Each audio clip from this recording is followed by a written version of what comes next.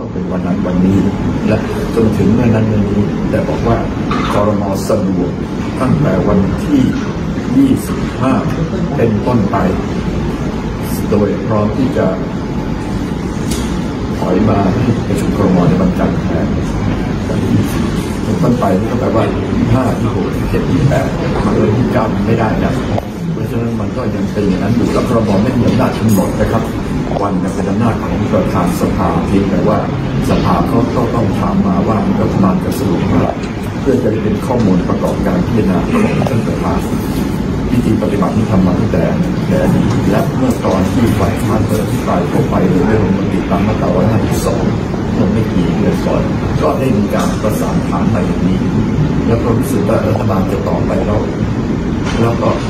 ประธานก็ก็ไม่ได้เอาตามนั้น แต่ว่าได้ตัวก็อย่างน้อยรู้แล้วว่าออดช่วงนั้นรัฐบาลไม่สรุปไม่สรุปดีจะไม่ว่านี่จะไปตอบประธานว่าไม่ว่างซึ่งรู้สึกว่าสำคัญอะไรมันจะสำคัญกับภารกิจในสภาเป็นเรื่องนี้แต่เราติดก็ต้องมองไปตรงๆหรือเมื่อตอนที่ปลายมาตราร้อยสองตอนสองเดือนก่อนนั่นน่ะมันมันเป็นการพูดอะไรก็ได้จากรัฐบาลทั้งคณะตอนนั้น